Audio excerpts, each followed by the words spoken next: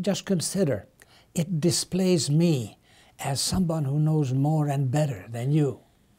And thus I can say, do this, do that. You may not have thought of doing that. It doesn't make any difference. I know better. So it's, uh, it's an exercise of human will, putting down the other person by saying, in effect, I'm the one who knows what's what. If you look at the internet, it's absolutely chock full of advice of all the things that we're supposed to do that we're not doing.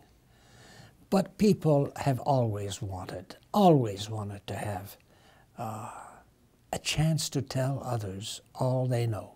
I so treasure freedom. Uh, I'm, I'm a very bad person when it comes to taking advice from others. And I'm getting advice galore. So I thought to myself, what is going on? Why, number one, why is it that I don't like uh, being given advice? And two, why is it that people persist in doing it? And this came out.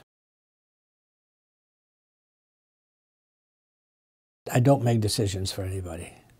Uh, I don't make decisions for my family.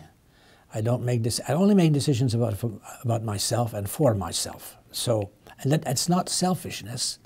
It's uh, it, it's self-limitation. Students ask me, "What am I to do?" And my answer is, "Well, what do you think you should do?" And they don't notice that I'm not saying anything. I'm, I'm just wanting to elicit from them what they already think. And most of the time, it's not a problem.